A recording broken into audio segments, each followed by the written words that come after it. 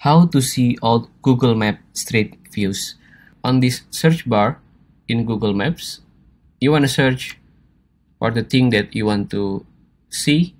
For example, I want to see Times Square. And you want to click on it.